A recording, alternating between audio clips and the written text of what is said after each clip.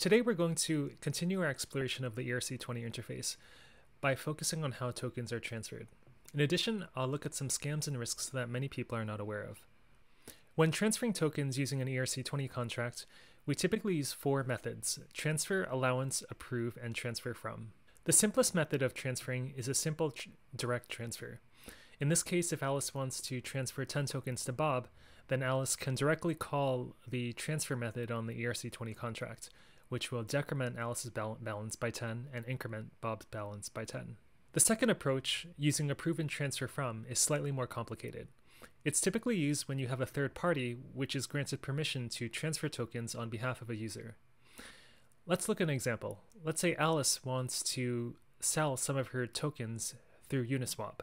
In that case, Alice can grant Uniswap permission to transfer tokens on Alice's behalf.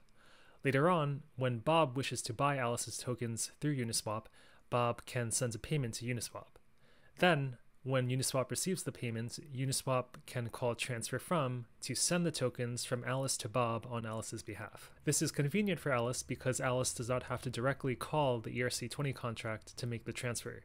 Instead, Alice can give permission to Uniswap and then Uniswap can take care of handling the payment and the transferring on Alice's behalf.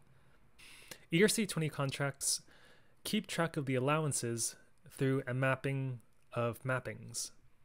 In this case, for example, Alice has given Charlie permission to transfer 10 of her tokens, and she's given Dan permission to transfer 15 of her tokens, and she's given Aaron permission to transfer 20 tokens. Every time you call the approve method to give permission to someone to transfer tokens on your behalf, then this, the ERC20 smart contract has to update its allowances variable to keep track of how much that person is allowed to spend.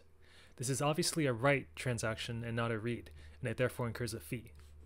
If you've used an exchange before, such as Uniswap, then you're probably familiar with this window, where you're being asked, do you want to allow Uniswap to spend your token? If you give permission, then you're allowing Uniswap to withdraw your tokens and automate the transactions for you, and then there's a fee associated with that. If you have many different tokens to exchange, then you have to go through this approval window many times and the transaction fees add up.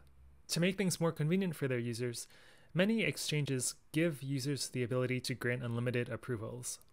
Unlimited approvals are definitely convenient because they let users avoid the hassle of going through all those manual approvals, and that also saves on transaction costs. However, when you grant unlimited approval, you also carry the risk of having all your funds stolen. Unicats was a yield farming platform that offered super high returns.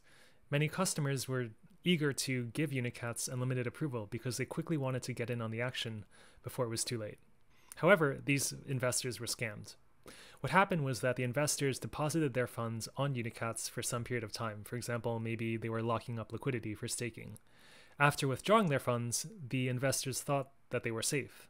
However, because Unicats still had unlimited approval, and therefore control over their tokens, then the Unicat, the Unicat's founders were able to simply transfer their tokens and steal them. Bancor was another exchange that suffered from a similar vulnerability. Users gave Bancor unlimited approval. However, because of a bug in Bancor, an attacker was able to use that unlimited approval to steal their users' funds.